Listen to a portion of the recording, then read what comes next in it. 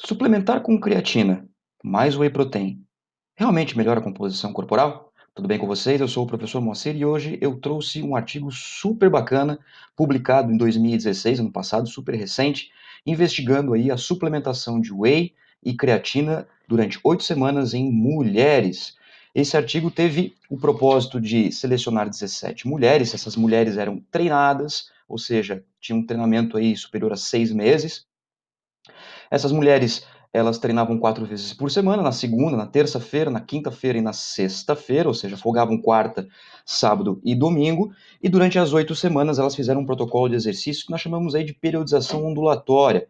O que, que elas fizeram então? Na semana 1, fizeram duas séries de 12 a 15 repetições, na semana 2, três séries de 9 a 11 repetições, terceira semana, quatro séries de 6 a 8 repetições, quarta semana, quatro séries de 3 a 5 repetições. A semana 5 foi igual à primeira, a semana 6 foi igual à segunda, a semana 7 igual à terceira e a semana 8 foi igual à quarta semana nos seus protocolos. Os exercícios estão no artigo, se vocês quiserem acompanhar lá como é que foi a divisão dos exercícios, para acompanhar mais, tá?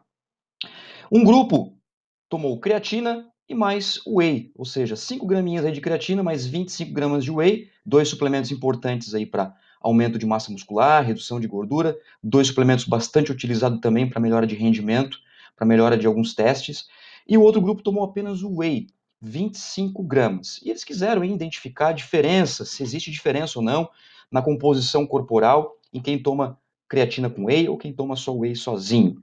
Como é que foram as avaliações então? Elas foram avaliadas antes do programa, no período quatro semanas e no final do programa, ou seja, oito semanas depois do estudo, fizeram as avaliações finais e compararam aí os resultados.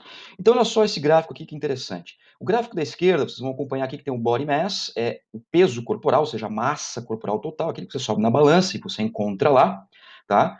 E o branquinho é o grupo que tomou só whey, e o cinzinha foi o grupo que tomou proteína mais creatina, ou seja, o whey mais a creatina, mais os 5 gramas de creatina. Então, olha só, em relação ao body mass, ao peso corporal, aquele que você sobe na balança, não teve diferença nenhuma, não teve modificação nenhuma, tanto quem tomou whey sozinho, quem tomou whey com creatina. Teve aí uma modificaçãozinha de peso, mas não foi estatisticamente significante. Em relação ao gráfico da direita, que vocês estão vendo aqui, o fat mass, fat mass é a gordura corporal, banha, banhinha.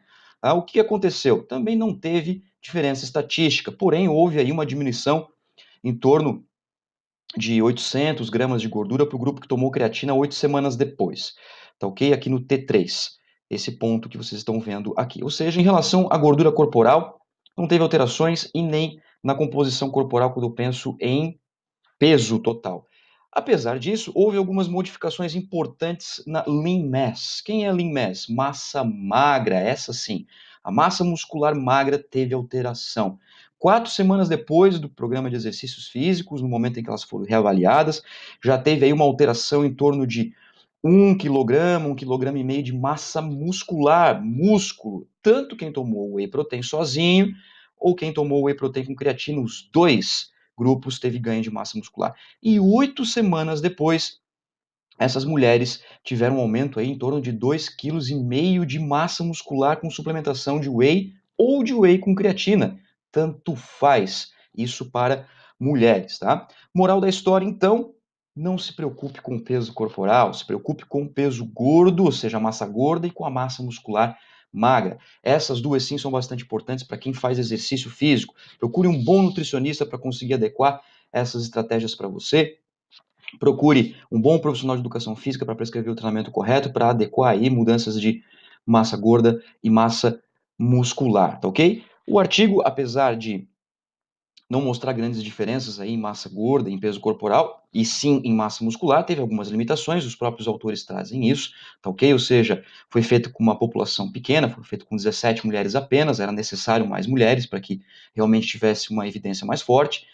A questão da suplementação de proteína foi uma dose que, se aumentasse, poderia ter dado diferença também, e o próprio tempo de intervenção, que foi de oito semanas. Mas isso são apenas limitações do estudo, isso não nega a importância dele, tá ok? Se você gostou desse vídeo, dá um like, compartilha com todo mundo, com todas as pessoas que você acha que vai se beneficiar com esse vídeo. Se inscreva no canal, tá muito bacana aí esse trabalho. Me siga no Instagram, eu vou ter maior carinho em recebê-los lá, tá ok? Muito obrigado pela atenção e até o próximo vídeo.